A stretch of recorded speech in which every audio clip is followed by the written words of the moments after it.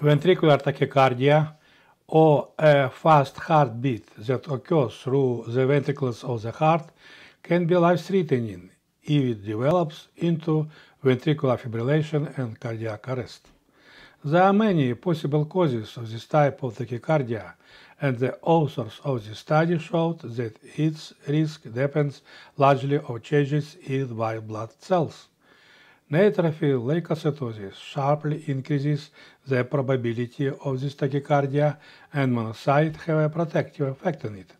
They do not explain how neutrophilic leukocytosis can provoke ventricular tachycardia and how monocytes protect against its development.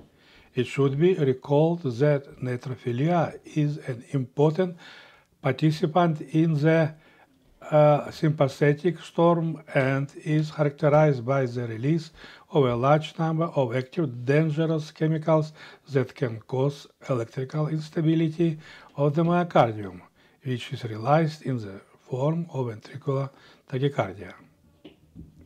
About 30 years ago, I showed, for example, that hyperactive myocardial infarction due to the acceleration of necrotic processes by neutrophils in the zone of myocardial infarction causes various forms of life-threatening ventricular tachycardia.